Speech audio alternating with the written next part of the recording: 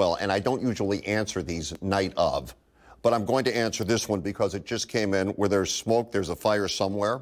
What's up with the smell of smoke here in the air in La Quinta? We're assuming there's fire in the area, but there's no mention of it on the other news outlets. Still enjoying your show and your approach to relevant news, Joan and Tim Swift. Okay, so we checked.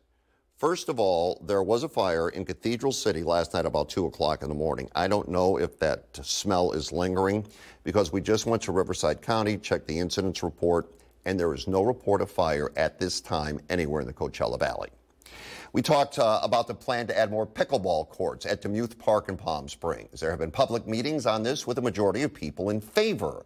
We went out there and shot some video last week because some of you suggested parking will be a problem and more people would make things more congested.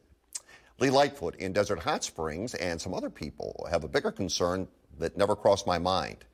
Apparently, they'd have to take out 15 mature trees. This is a petition started on change.org to prevent the destruction of the trees. It's well laid out and it's well written. If you would like to weigh in, go to change.org. The goal is 500 signatures, and when I last checked, there were 434.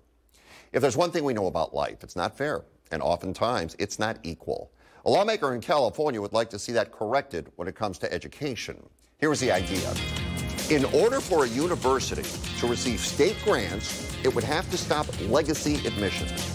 Just because a family member went to school there, that doesn't automatically guarantee another family member will gain admission. Stephanie, I'll start with you this time. Uh, what do you think of this? Is it a good idea? Well, I think if you don't if you want to accept legacy uh, students because you probably are getting a great big donation from the alumni, then don't take the state money or the federal money. And I think it's just a decision the school needs to make. I think the state and the feds need to get out of these kinds of decisions for schools. But uh, either way, I think it's up to the school to take the money or not take the money. Jimmy, what do you think? I agree with Stephanie as far as the, the money talks. Obviously, if they don't want to follow what what the state wants them to do, then you don't have to take these grants. But is it a good idea? A level playing field is a beautiful thing for a student to be accepted on his or her own terms.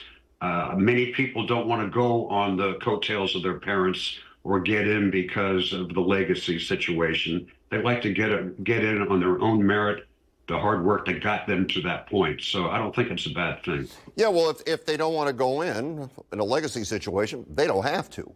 They can certainly jump out and try to do whatever they want to do. Truth of the matter is, it is tough to get into certain schools. My kids uh, all went to college, and I remember that period of time where they were trying to decide what school they'd get into, and everybody agonized and worried about it. And then, you know, their friends got into some schools, they didn't get into the others. You want to know something? After your freshman year, half the time you transfer out anyway. So you've gone through this agony for absolutely nothing.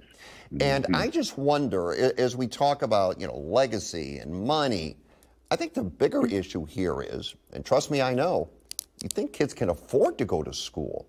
I mean, it, those costs now, Jimmy, are prohibitive.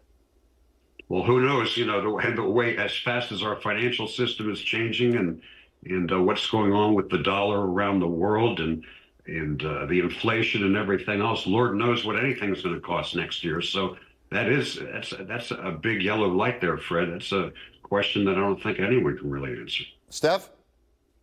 I think the schools are making huge mistakes in all of these decisions on who can and cannot go to their school based on their race or their gender or their legacy. I say go back to when I was trying to get into college and it was all about my grades and my community service. And if I fit the profile of the school based on my essays and my interviews. So, you know what? Stop you know dividing people and stop putting people into silos and just let's look at the kids intent when they go to college. All right, nice job.